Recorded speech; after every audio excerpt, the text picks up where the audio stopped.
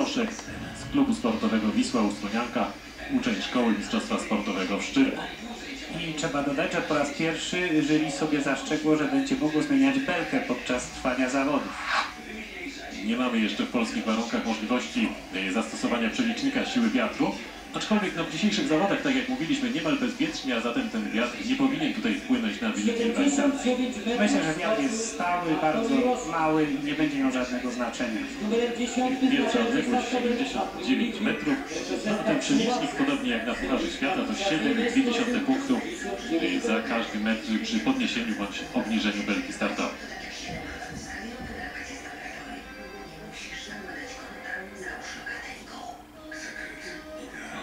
Nachsteigen.